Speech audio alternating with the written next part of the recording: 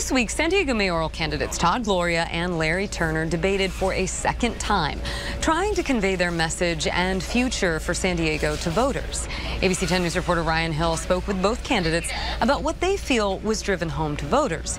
He also asked if they did anything different to prepare for this debate after our ABC 10 News debate, which aired unedited in September. Good evening. Two candidates standing at podiums for the San Diego mayoral debate. It's the second time in roughly two weeks that San Diego Mayor Todd Gloria and Larry Turner are debating why they're the best bet for San Diego's future. Gloria and Turner participating in the KPBS debate Thursday, discussing homelessness and ways to resolve it like safe sleeping sites. What I said earlier on was we have to put a tourniquet on this and we have to stop them. So on day one, I have to keep that. I want them to stay in there for the shortest amount of time we can until we get the beds for them. And I have plans to add another 1,000 beds at Kettner and Vine and another 200 plus safe parking spaces at H Barracks. By the way, both of those are proposals that my opponent opposes. Similar topics being brought up in our debate at ABC 10 News. But here we are at the end trying to come up with a solution to this with a thousand bed facility.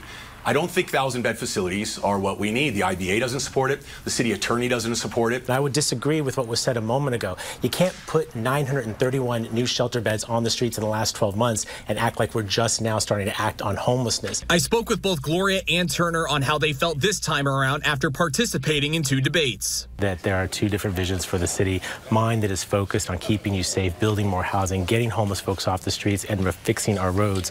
And really someone that has no vision but does have a long long list of grievances and complaints, but no ideas on how to fix them. So this is how politicians, I guess, do this. They they only want to talk for short sound bites, you know, real quick and not get into details. So I don't like that. I mean, I, I this is my second time doing it. I, I don't do these.